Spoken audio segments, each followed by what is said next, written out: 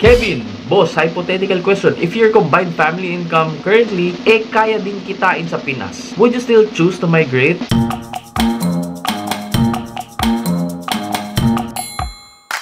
Good morning guys!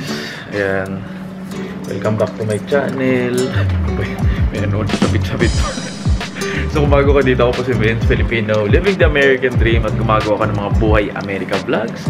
At sinasagot natin yung mga comments na doon sa last video. Kaya kung hindi ka pa nakasubscribe, please click the subscribe button at yung notification bell para updated ka kapag nag-upload ako every Saturdays 12 to 1pm Manila time. So ayan, titimpla lang ako ng kape.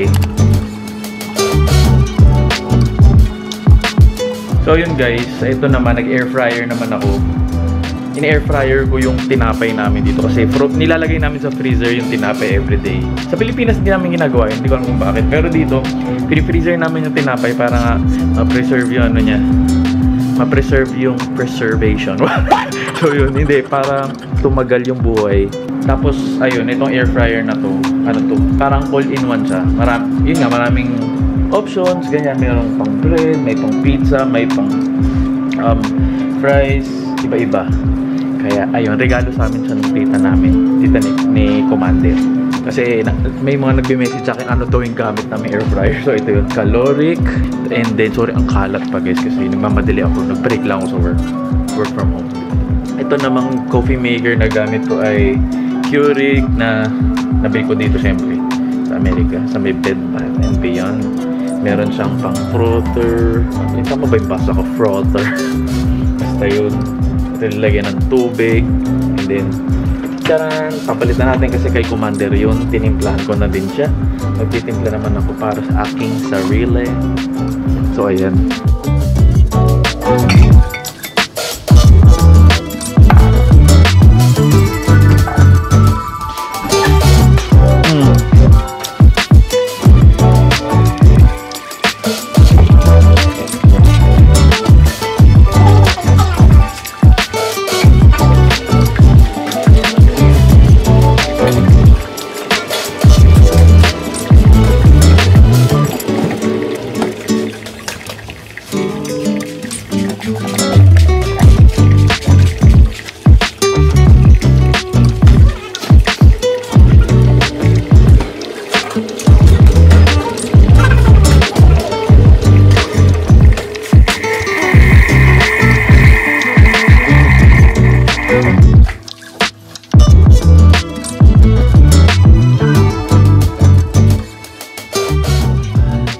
Welcome to Siberia, Chicago, Siberia. ang lala, 'di ba? Buong ang forecast guys is for the next 3 days. Magsa-snow. Kaka-clear lang nung village namin nung ano, nung snow para madaanan. Pero ayan, hindi mo na nga makita yung driveway ko eh. Ayan, may, may meron ako i-share or sa next vlog ko, magugulat kayo ng ganap. Pero basta, when back to work, sorry ang kalat ng office. Kasi nga guys, once a week lang ako naglilinis dito.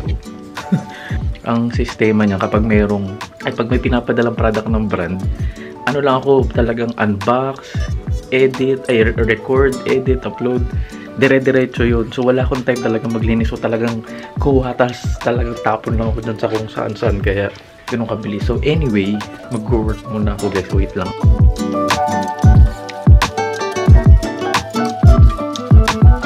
Hello guys, ayan, break muna sa work. Wait lang, kasi kailangan ko magpala ng snow.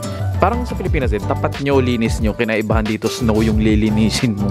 Kasi kapag meron naglakad-lakad dyan at nadulas yung mga yan, kung sino mga maglalakad dyan, pwede nilang i-sue. Yun nga, pwede kang i-kasuhan kasi na-disgrasya sila. Ibig sabihin, pabaya kang homeowner, ganun. Kaya, papala lang ako saglit. So, feeling ko kailangan ko na rin i-akyat yung ano ko, yung snow blower ko. Nasa basement kasi guys. Yung snow blower, advisable siya kapag sobrang mataas yung snow. Eh, ito medyo manipis lang. Tsaka kung malambot pa yung snow, mas madali siyang palain. Kaya magpapala tayo ng snow ngayon. Hindi naman yun yung plano ko sana. Kailangan ko kasing lumabas. Kasi pupunta ako sa pet ko. Yung parang ano, ano ba yung parang sa Pilipinas na yun? Yung malaki siyang pet shop. Kasi meron akong kailangan bilhin na fish tank na maliit kasi meron akong product na dumating from brand. Yun nga, yung mga ginagawa kong product reviews. So, kailangan ko ng fish tank para gamitin siya as props. And yun, i-reimburse naman nila. So, ganun yung ganap guys. Share lang. Kapag nag-ano product review ko. Kapag meron akong kailangan kunin na item. In fairness naman sa brand, eh, i-reimburse nila yung kailangan kong materials or yung mga aparatos. Aparatos? Ganyan. Anyway, dami sat-sat. Mag-ano muna ako kasi naka-lunch break ako. Kailangan matapos ako agad. One eternity later. Whew, kapagod guys. Ayan. So natapos na ako. Tigas na ng mukha ako. like literal guys, ang tigas na ng mukha ko. Na-upload na natin yan. Na-upload ko na rin yun. Kasi nga responsibilidad ko pa rin yan kasi that's my property. Ito din. So ayan. Let's go. Hey guys, ayan, nakabalik na ako ng pet ko. Sorry, hindi ko na kayo naisama. Next time na lang. Kasi nagmamadali, nagmamadali talaga ako. So, papakita ko lang sa inyo mabilis ano yung mga binili ko doon na kailangan para doon sa shoot, isushooting ko. Hindi naman ito unboxing ano guys. ah, pa, papakita ko lang sa inyo. So, itong parang maliit na fish tank. Um, bumili na rin ako ng mga ganito. Bilang i-reimburse naman ng brand, isulitin na natin para maganda yung product review. And then, itong mga paprops sa sa video. Ayan, kailangan daw nito para hindi maan. Kasi tap water yung gagamitin ko para pag-fill nung fish tank para maging safe yata sa isda.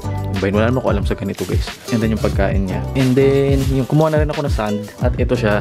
Ito siya ang nagwagi. Ayan. Ayun, nagpakita guys.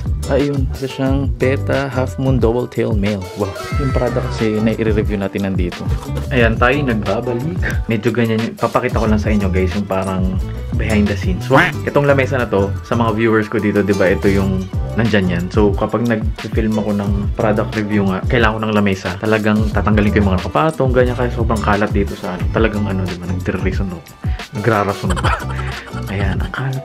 Minsan talaga bundok-bundok na dito kasi nga, kailangan mabilisan eh. So yun guys, natapos na ako sa dalawang collab ko sa dalawang product. Papakita ko, bigla ko naisip na pakita ko na lang sa inyo yung talagang behind the scenes kung paano ko siya ginagawa. So sorry, nag medyo nagmamadali ako. Um, so natapos ko na yung dalawang product, ngayon ito yung last. Ipe-prepare ko lang for shooting. So ganun talaga kapag wala kang assistant guys. Ikaw lang lahat.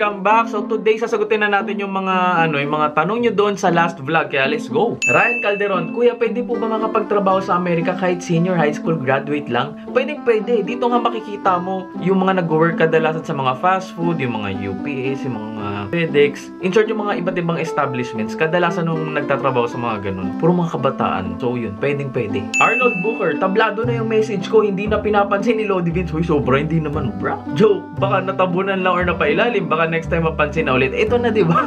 Grabe, hindi hindi ako snob.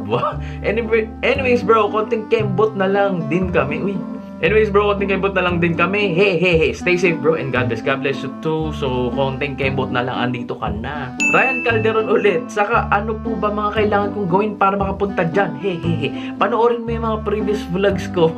Nag-promote pa eh. No? Pero seryoso, marami kang matututunan dun. Ewan ko kung marami kang matututunan. Pero sabi ng iba, marami daw silang natututunan. Natutunan. Kaya thank you. So panoorin mo yung mga previous vlogs ko, masasagot doon yung mga agam-agam, agam-agam, yung mga katanungan mo na gusto mo masagot. Kung hindi, comment down below, try nating sagutin. Paul Jason Gambal, pa-shoutout ko Evin, shoutout to Paul Jason Gambal. Carlo, Sir Vince, tanong lang po, paano nyo po napapanatili na clear skin nyo? Sobra. Alam nyo ba, itong comment na to, nakita ko to nung ano kagabi, nabati mo, bra. Tignan mo, meron akong, ano ba yun, in love yarn.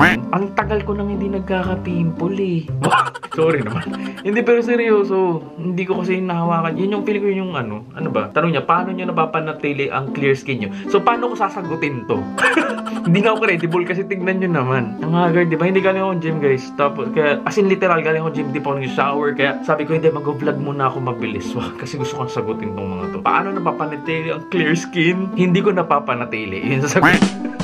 Kasi ako po, since pumunta po ako dito sa US, sobrang dumami po acne ko. Paano ba? Nag-breakout. Yan, tamo nangangati ako kasi hindi pa ako naliligo. Baka bukas ang dami kong tigyawa. Ay, paano ba? Yung sa akin kasi ito, pera biro guys. Ha? Hindi ko alam kung, teorya ko lang naman ito. Hindi ako naghihilamos. Kadiri ko. hindi, naghihilamos ako pero siguro once a day lang. Pagkagising, pagtutulog na hindi. Tsaka hindi, actually twice. Kasi pag nag if I go to the gym, nagliligo ako siyempre. So doon na parang in a way na ililinis na yung mukha ko. So naghihilamos ako pagkagising. Wala akong ginagamit na mga anik-anik na mga facial wash. Wala. Hindi, meron akong ano, yung Neutrogena Men. Pero bira ako sa gamitin. Pero everyday kapag naliligo ako, I promise, talaga tubig lang. Eh, talaga tubig lang, hindi ako naglalagay ng sabon. Kasi feeling ko na-irritate yung face ko. eh. Wow! Arte, pero seryoso kasi feeling ko na-irrita nga siya. So, like what happened? Dahil sa pawis yata yan eh. Hindi ko alam. Pero ito ginagawa ko. Wag nyo, hindi, guys, ito talaga ginagawa ko rin. Other than tubig, kapag ganyang may isang umuusbong, kumuha ako ng hand sanitizer. No joke, hand sanitizer.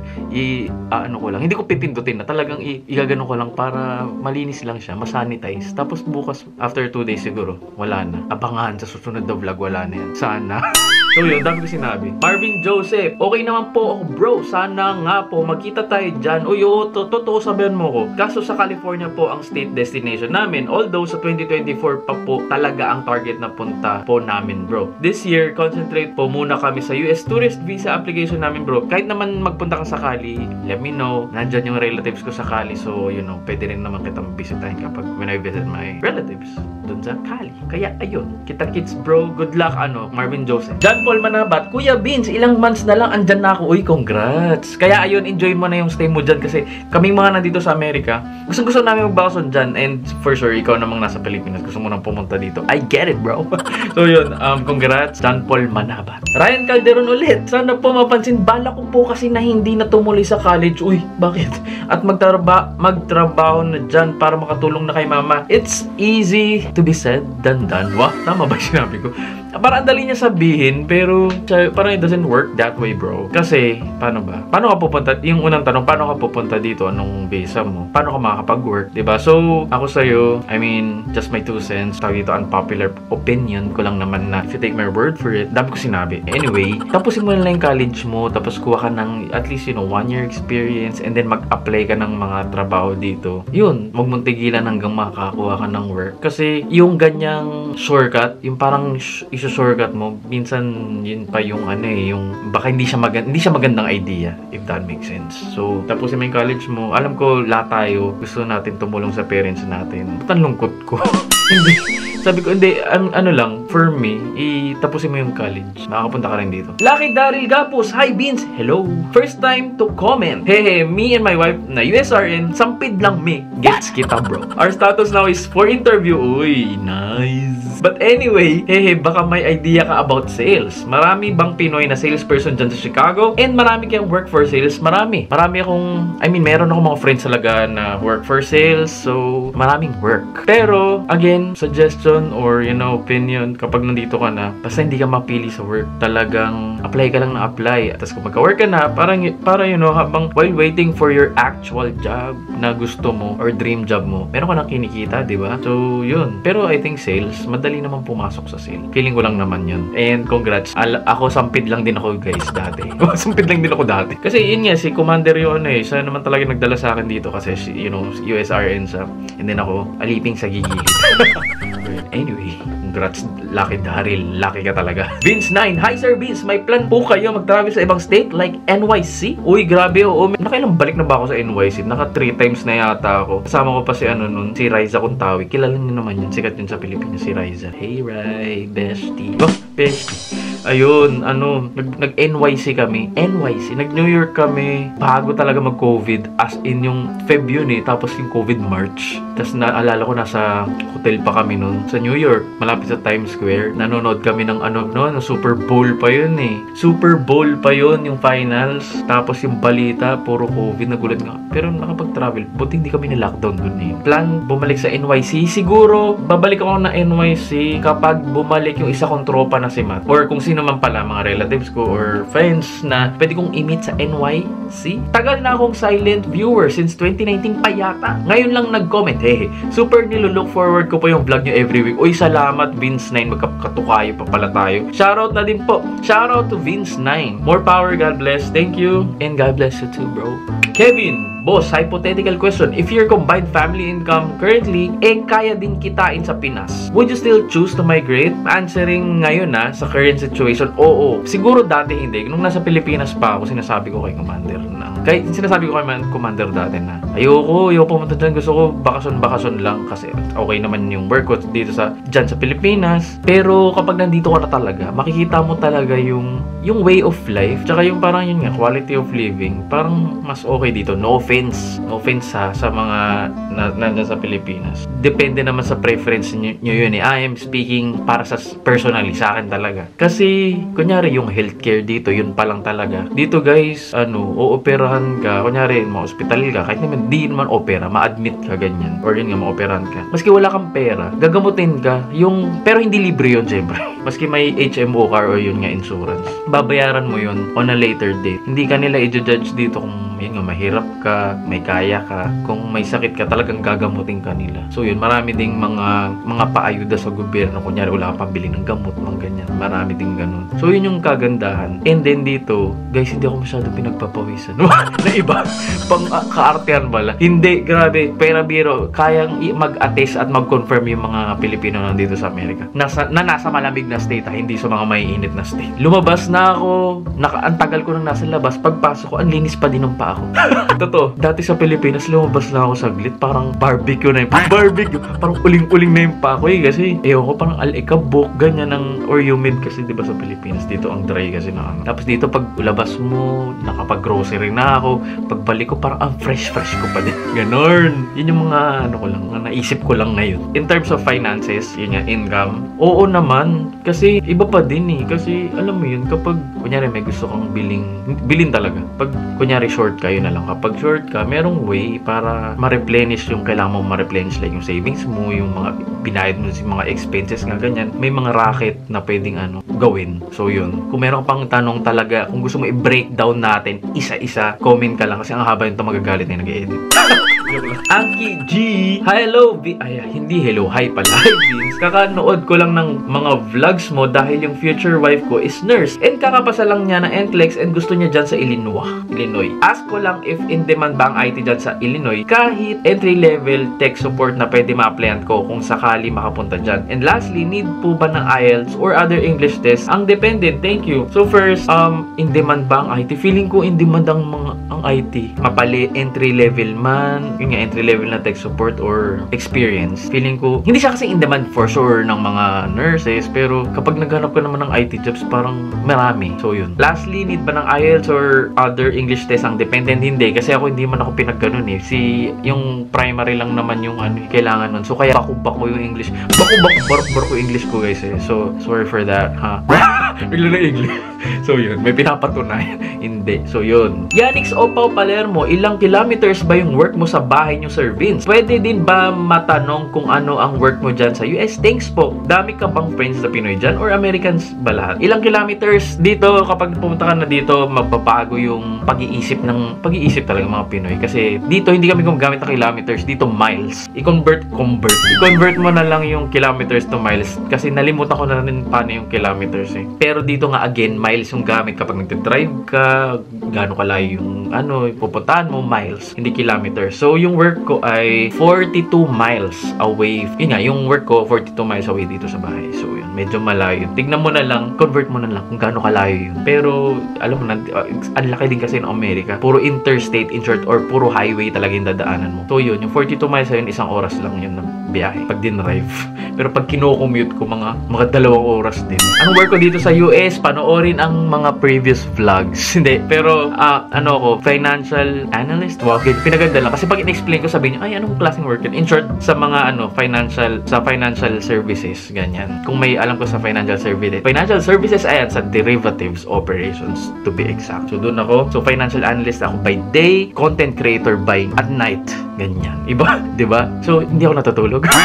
Ganun. Dami bang friends na Pinoy? Oh, marami akong friends na Pinoy dito. Actually, konti lang, hindi nga friends eh. Marami akong acquaintance. Wow, marami akong acquaintance na mga put, ibang lahi. Pero they're not my circle. Wow, they're not my friends. Jetro, si Stress. Hi Sir Bean, silent viewer here. Lagi ka namin pinapanood ng wife ko. Sobra kaming na-inspire sa videos mo. Ask lang po namin Sir Beans, ano po ba ang first step na dapat gawin para makapunta dyan? Pangarap po namin ng asawa ko makapunta dyan. Parehas medical field po kami ng wife ko. God bless and stay safe. Always, Sir Vince. Um, first of all, thank you so much for the support, Jetro, Sisters, and kay, kay wifey mo. Very first step is, kung gusto niyo pumunta dito, maghanap ka ng work. Siyempre, paano ka maghanap ng work? Either kung mag-hire kayo ng um, immigration lawyer or mag meron kang mga agency sa Pilipinas na ang employer ay dito sa Amerika. So yun. At nasa medical field kayo, tanong nyo yung EB3 na visa. So yun yun, EB3. Employment Based Category 3 na visa. So yun. Meron ding iba yun eh. Merong EB, uh, merong EB2 kapag meron kaya tang mga master's degree, ganyan. Kung wala, EB3.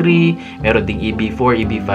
Kung if you wanna uh, know more about it, let me know. I-vlog din natin. So yun. Pero marami na akong na- na-vlog yata about about that before. Brents Jello Valladolid. Wow, Vince, ang ganda ng opisina mo. Executive ang dating mo, sir. God bless you always po. God bless you too. Brents Jello Valladolid, hindi. Ano lang ako, aliping sa gigilid. so yun, hindi. Ano lang ako, isa lang akong normal na regular employee. Ganon. Kasi kung sinabi kong boss ako, sasabihin ng mga taong yabang naman. Wow, feeling hindi ako boss guys. Hindi rin ako executive. I wish. Mark Anthony Bagandong, iba talaga mga Pinoy. Kapag mainit, napapainom pa rin tayo ng mainit. Kapag malamig, napapainom pa rin tayo ng malamig. Malamig. Totoo, di ba? Ewan ko ba? Oo nga, no, sa Pilipinas, kahit napakainit, ang hilig ng mga tao minom ng ano, no, hot coffee. Ah, dito rin, kahit nag snow na, ice coffee pa rin. G. Jandel Di Mayuga, no worries, Kuya Vince. And I too appreciated that, that too. Your vlogs are helping us to cope with our mental health too. Salamat naman. Also, I'm willing to meet you in the right time, Kuya Vince, even it will take time. And good news, we have passport appointment na po ng jowa ko this February. Looking forward to all of your subscribers to meet you soon, dear Kuya Vince. Solid, siguro noon, parang podcast kwento. Inuman.